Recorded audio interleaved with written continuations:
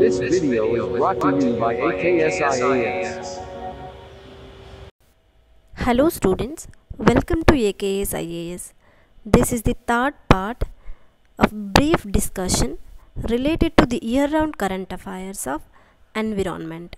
In this video, we'll see some more important current affairs related to the environment which are given in the AKS IAS material. Our first topic is related to the National Green Tribunal. See, National Green Tribunal is in the news for, for a number of times on various number of cases. So it is important for us to understand what is National Green Tribunal, whether it is a statutory body or not. Yes, it is a statutory body which was established under the National Green Tribunal Act in the year 2010 and it has wide range of powers with respect to, the laws related to environment. And one thing that we have to remember in particular is this National Green Tribunal is not guided by the Code of Civil Procedure of 1908 but it is guided by the principles of natural justice. Here it has been given all the laws that the National Green Tribunal adjudicates. Those includes Water Prevention and Control of Pollution Act 1974, Air Prevention and Control of Pollution Act 1981, Environment Protection Act 1986, the Public Liability Insurance Act 1991, Forest Conservation Act, Bio- Biological Diversity Act 2002, etc. Our next topic is Brazzaville Declaration on peatlands. See, it is important for us to understand what is peatland. Peatland is a kind of wetland which is formed due to decomposition of organic material which is partially submerged in the layers of water. See, due to the lack of oxygen, the organic material is decomposed. Because of this decomposition, the wetlands, the kind of wetlands that are formed, are called as peatlands. See, wetlands are very important ecosystems which have many ecological importance. So, peatlands also one of the wetlands which are very important. In this context, it is important for us to understand. So, Brazzaville Declaration with respect to the peatlands was signed for the better management and conservation of the world's largest tropical peatlands which are located in the Cuvette Centrale region in Congo Basin. So to save this Cuvette Centrale region in the Congo Basin, this Brazzaville Declaration has been signed. In this context, these peatlands were in use. We have to understand this. The more information with respect to the Brazzaville Declaration has, al- has also been given in the material. Our next topic is related to the global concentration of atmospheric CO2. See, CO2 in the atmosphere is measured in terms of parts per million. See, the number of parts per million has reached 415. It is a huge number. See, this increase in the concentration of the CO2, atmospheric CO2, we can see the trends here. See, for several thousands of years, this concentration remained constant at 270 to 280 parts per million.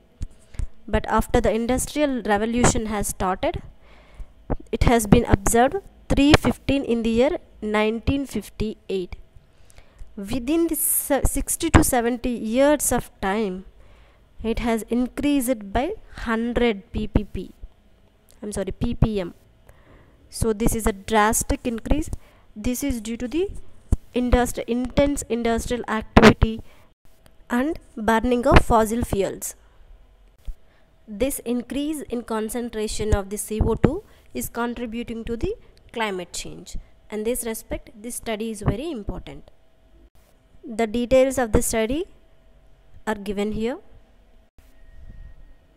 Our next topic is India and Arctic Council.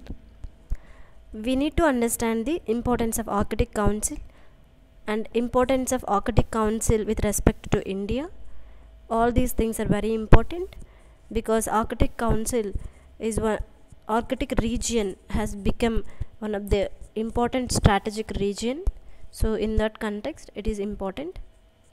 And few things that we need to remember for the prelims is India was re-elected as an observer to the Arctic Council. So India is not a member but is an observer to the Arctic Council. It is re-elected.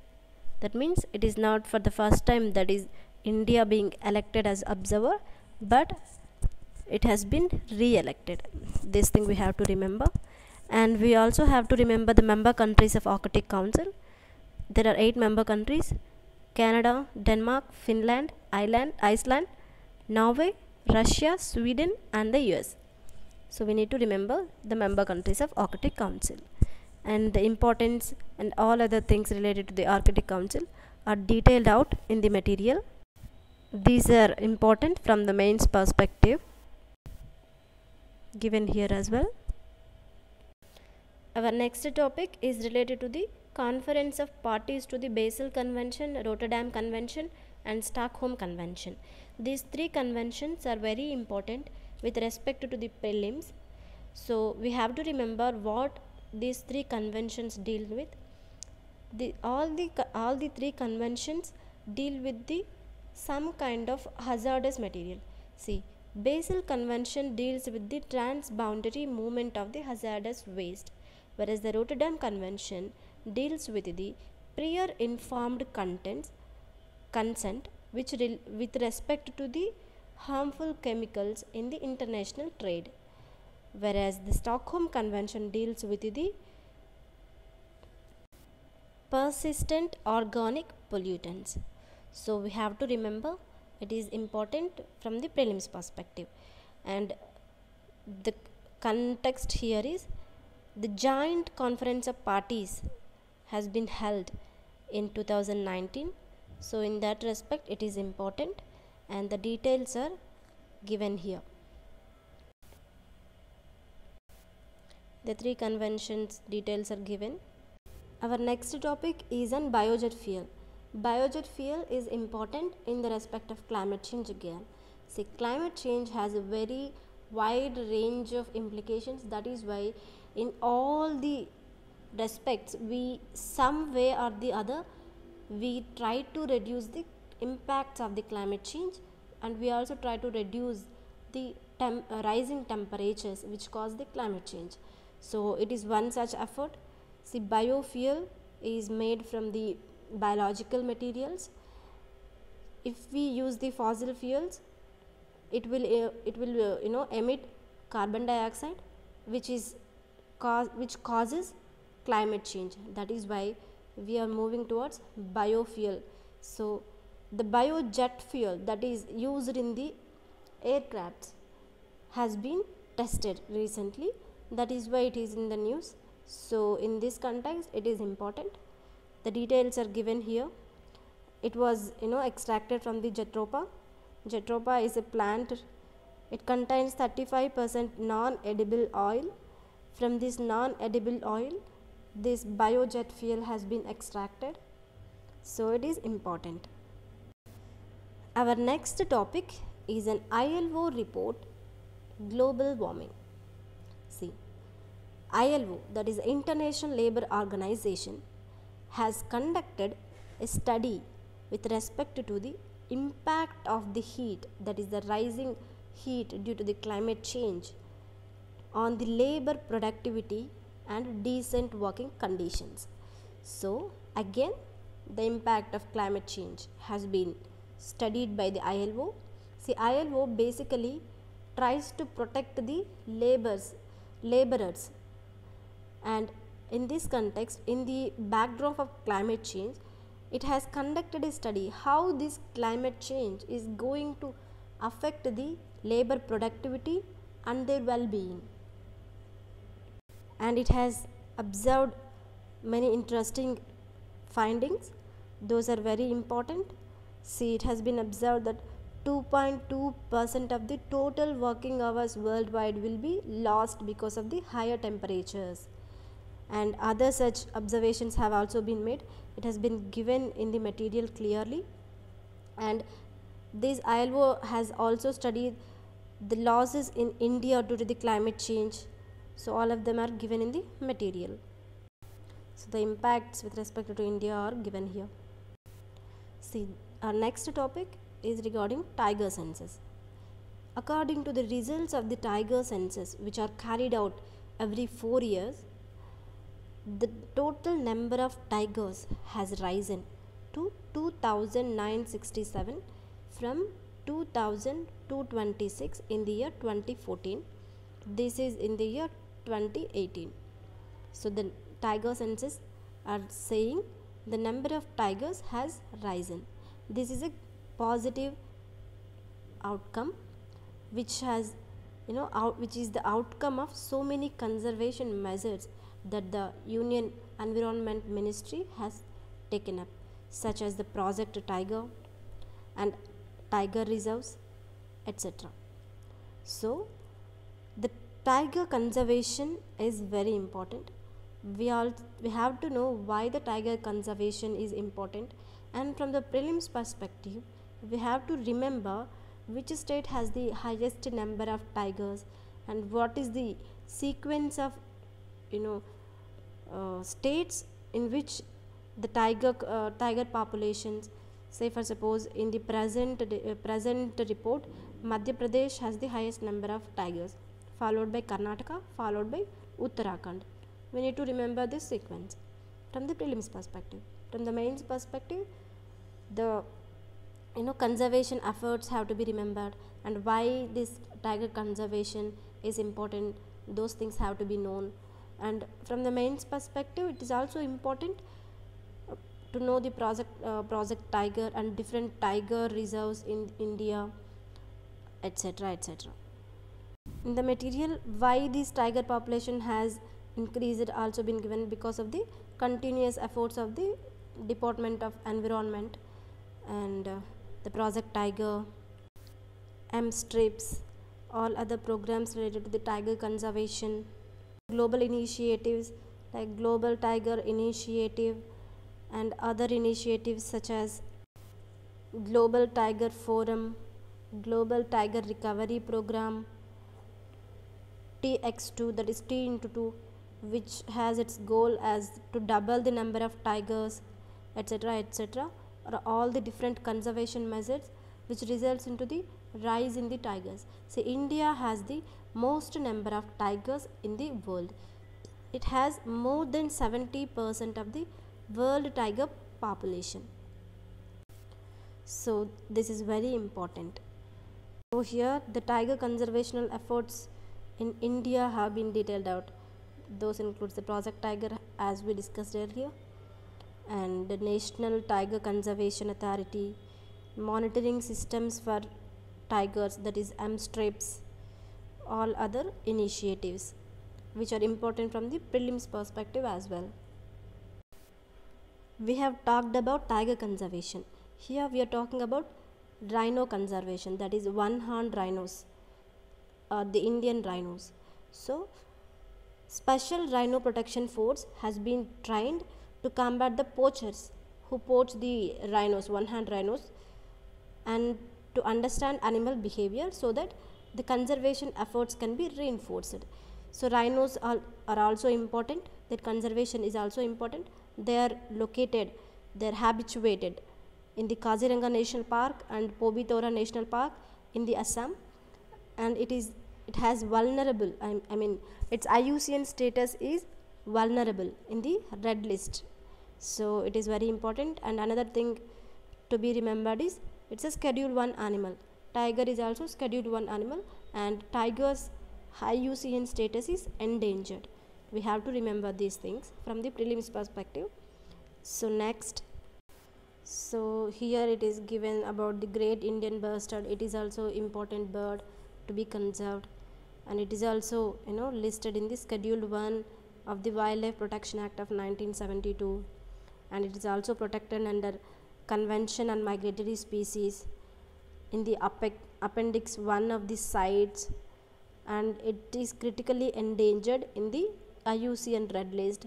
So if it is critically endangered means there is a high chances it is going to be extinct. So it has to be uh, we have to take you know much more action to save these great indian bustards. In that context this is in the news. It is important to understand the concepts given in the material. Our next topic is earth overshoot day. It is important concept to be understood. Earth overshoot day indicates the day by which the earth's resources will be completed which would produce in one year. See we'll understand this. From january 1st to december 31st the ability of the earth to produce products if we suppose it as x we are completing this x number of products by this earth, earth overshoot day itself. In 2019 this earth overshoot day fall on 2019 july 29th so this means that this means that the products that are produced from the January 1st to December 31st are being completed within July 29th. So this is the ability of the earth but we are exceeding the ability of the earth to produce resources. So we are having deficit and we are depleting the natural resources of the earth. This is the crux of this earth overshoot day. And this earth overshoot day is estimated by the global footprint network. This has to be remembered. And uh, it has been founded in the year 2003 and these are important from the prelims perspective.